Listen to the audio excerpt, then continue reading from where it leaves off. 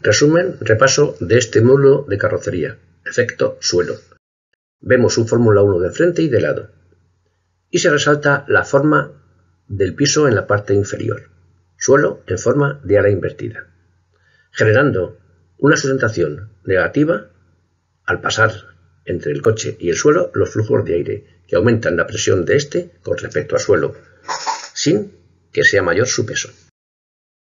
Para potenciar el efecto suelo, se pueden incluir faldillas laterales, que hacen lo más estanco posible el paso del aire, mejorando el efecto de sustentación negativa. Aún se puede aumentar más, incluyendo una turbina en la salida del aire exterior, detrás del automóvil, aumentando sensiblemente más la salida del aire, el efecto de turbulencia. Los efectos de los spoilers delanteros y traseros también son variables en función de determinadas condiciones de la marcha.